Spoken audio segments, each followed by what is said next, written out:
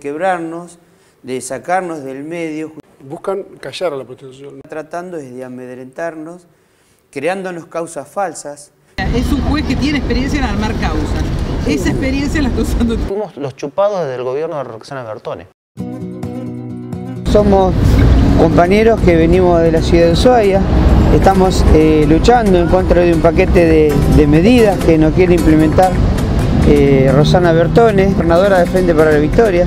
Cuando sumieron el mes- en- entre gallos y medianoche, mandan un paquete de leyes. Está atacando todas nuestras conquistas, nos alarga los tiempos de jubilación, nos vacía nuestra caja.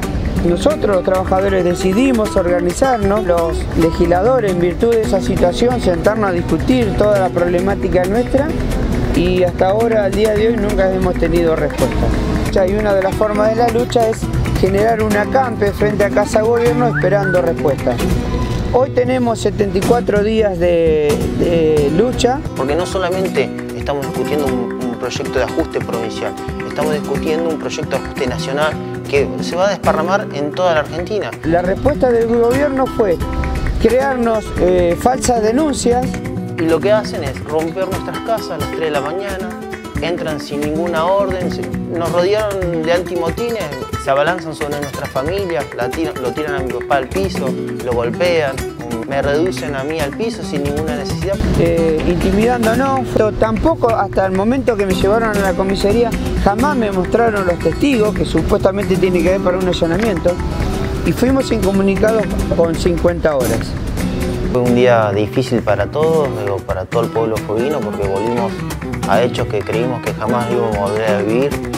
Claro que esto está en un contexto político y tiene que ver con, con un gobierno reaccionario. La solidaridad de muchos sectores, inclusive de, de- de parte de usted, y le, y le queremos agradecer. Todo eso ha generado que a nosotros nos hayan podido liberar.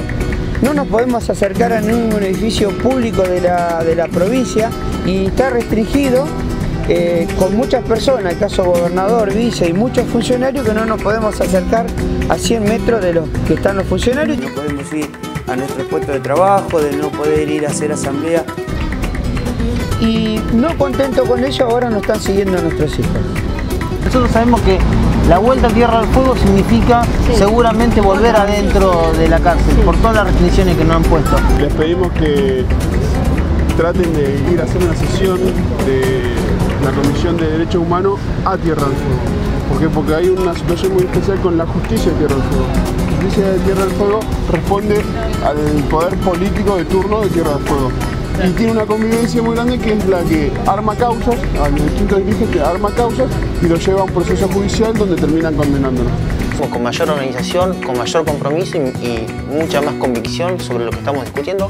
Lo decimos nosotros en Tierra del Fuego, dar ni un solo paso atrás y no permitir ni un solo derecho menos solicitamos a la Cámara de Diputados que lleve la sesión eh, de Derechos Humanos a Tierra del Fuego.